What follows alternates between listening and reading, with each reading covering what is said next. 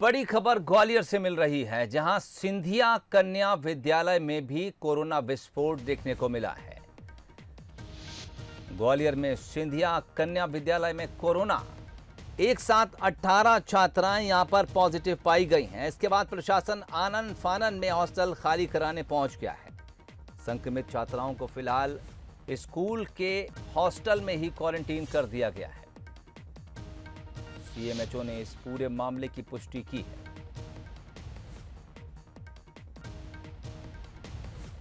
Hostel खाली। हाँ, Scindia school में खबर आई थी कि उसमें क्या है कि जो गर्ल्स स्कूल है उसमें करीब 18 बच्चियाँ पॉजिटिव आई थी और उनको वहीं पर ही आइसोलेट कर दिया गया था। और अब सभी ठीक है उसमें तो। मेरी बात हुई वहाँ के अभी प्रशासन से तो उन्होंने बताया सब सेटल है। बाकी कुछ तो चली गई हैं वहाँ पर, क्योंकि अब हॉस्टल खाली करने के भी निर्देश आ चुके हैं तो वो सब खाली हो चुका है। बस जिन लोग की फ़्लाइट के लिए जिनसे जाना है और उनको फ़्लाइट में आपको पता है कि आर टी नेगेटिव चाहिए, इसलिए कुछ बच्चे रुके हुए हैं, बाकी